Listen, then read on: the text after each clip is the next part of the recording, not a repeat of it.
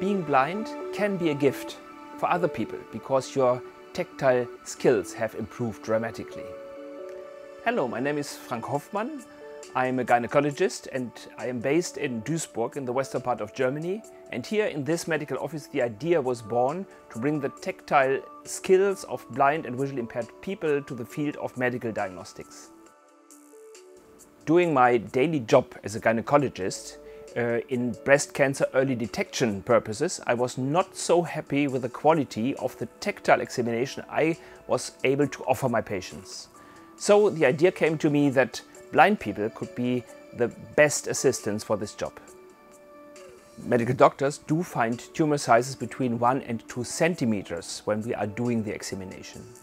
Medical tactile examiners, the well-trained blind women, are able to find uh, tumor sizes between 6 and 8 millimeters. And that makes a big difference because um, in these earlier stage, the tumor might not have sent out its cells to the body.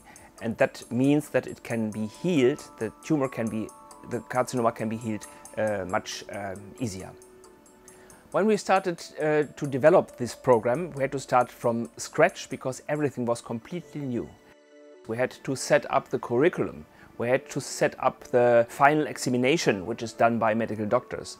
And we had to convince uh, my colleagues, um, gynecologists, um, uh, that this idea could work in their offices, and we were successful with this.